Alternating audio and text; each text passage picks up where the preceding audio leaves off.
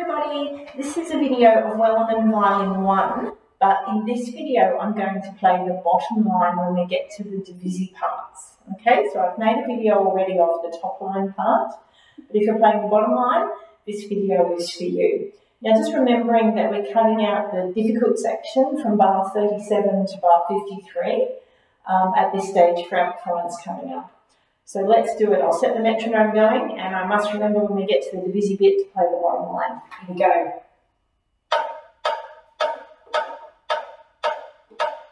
One, two, three, four, one, two, three.